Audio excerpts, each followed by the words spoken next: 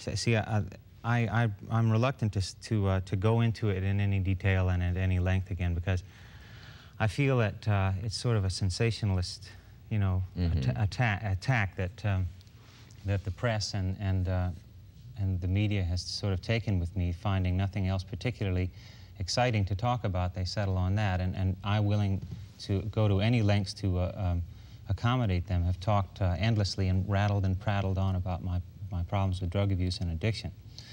Um, but I guess it, and, and I, I, feel badly about this because I feel that, that as you know a public figure, uh, I might be condoning it and I might be uh, I might be encouraging it somehow, you know. So mm -hmm. um, I really feel uh, that I, I, have wasted a lot of time uh, on drugs, you know, and I feel that one of the things that bothers me most about uh, about the whole myth uh, is that, that uh, for instance, when a, when a kid is uh, interested in drugs by, by hanging around with his cronies and getting into it and getting next to it, he, he it's often because uh, somehow it, it, looks like some the, the person who's uh, touting it or the person who's introducing him to, to some form of abuses has uh, access to some adventurous kind of experience, you know, mm -hmm. and, and somehow is, is, is knowledgeable and experienced in some area.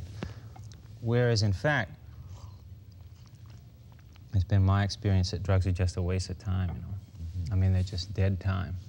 They're gone. There's nothing to be, there's nothing to be learned from them, you know. And if you, had may those, as well just go to sleep. You'd rather have those years back if you could do it over, I sure would, yeah. And I, I also would, would rather not have the history of drug abuse. I wouldn't, mm -hmm. I, I don't know what, it, what it's done to my body, but they find out more and more, you know. Yeah. The thing, um, I, I, I was just thinking about the subject, and one thing that drugs do is, is they kind of break down the barrier that's tense between, between people. People want to feel as comfortable as they possibly can in human relations. And if you take drugs, it sort of makes you feel like more, more at ease with your, with your friends. But in, but in fact, there's a certain thing to be gained from feeling tense with your friends. Mm -hmm. Because you, because if, if, if you break it down, then from that point, then you're really getting to know each other. If you break it down with the, with the help of drugs, you're not sort of seeing who you are or who the other person is. Yeah. Sure. Yeah, on the drug you encounter the drug, and without it you encounter the friend, perhaps. Yeah. Or, or yourself. I mean, it's, it's, it's really fear of intimacy uh, with yourself that I think makes you want to get high. And also just to imitate the glamorous figures in the music world.